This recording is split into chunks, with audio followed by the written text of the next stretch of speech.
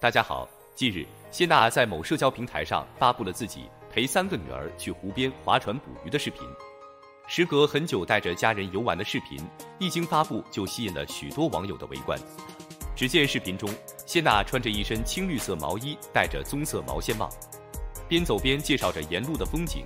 镜头外，三个女儿们大声唱着歌跑向了谢娜。在等待上船途中，小牙紧靠着谢娜与姐姐们打闹玩笑着。谢娜还调皮地揉散了小牙的头发，最后被小牙躲开。四个人很是高兴。画面一转，谢娜带着孩子坐在小儿陈旧的木船上，与渔夫大伯一搭一搭地聊着天。在坐船四处看风景时，谢娜学着女儿的腔调，咿咿呀呀地说着话。见女儿靠过来教她唱歌，她扭头仔细听女儿给的意见。在船夫撒网途中，小牙紧紧躲在谢娜怀里的画面很是有爱。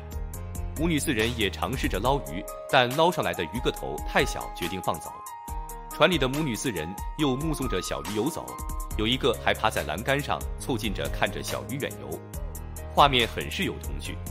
在这次久违的旅行中，谢娜坦言自己很喜欢跟女儿们一起玩，也经常带孩子们出去旅行体验新鲜的事情。视频中，谢娜透露这次游船的地方是夏日游玩的旧地方。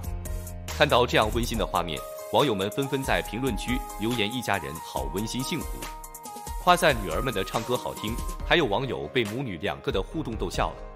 众所周知，谢娜与张杰组成了一个非常温馨有爱的家庭，已经到了外人谈起这对夫妻，脑海里只会想起“幸福”两个字的程度。而这与谢娜张杰夫妇经常大方晒家庭生活离不开。夫妻俩不管在哪都经常提起对方，在小女儿没出生前。谢娜和张杰就经常带条跳跳翘出去游玩，十分恩爱。说起谢娜，大家对她的印象基本上就是笑容很有感染力，是湖南台的常驻主持人。而在成为熟知的太阳女神前，谢娜一直在表演上深耕。出道以来，出演过很多电影和电视剧。最近，谢娜和赖声川再次合作重演的舞台剧《十三角关系》又得到了许多人的喜爱。不得不说，谢娜在才艺上很有天赋，也十分优秀。今年四十一岁的谢娜有过很多代表作，在文艺行业做过歌手、演员、主持人，也尝试着写书，各方面都颇有成就。相信谢娜身上保有的童真和快乐，带给过很多人欢乐，这或许就是大众喜爱她的原因。